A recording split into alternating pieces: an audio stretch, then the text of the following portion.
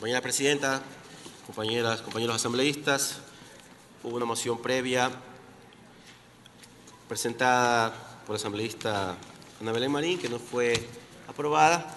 Por lo tanto, en vista de eso, me permito presentar al seno de esta asamblea una moción en, la misma, en el mismo punto que tratamos o retomamos en este caso basado en lo que establece el artículo 179, 208 y 209 de la Constitución de la República del Ecuador y de acuerdo al pedido que ha hecho el Consejo de Participación Ciudadana y Control Social Transitorio en torno a la designación del Consejo de la Judicatura que estamos tratando en este punto.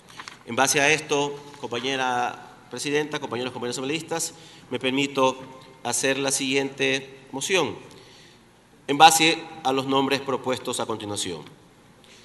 En una terna que está integrada por el señor Fausto Roberto Murillo Fierro,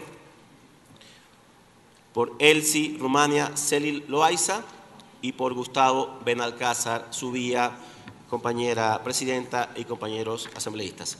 Hasta ahí la moción presentada. Gracias. Gracias. Tiene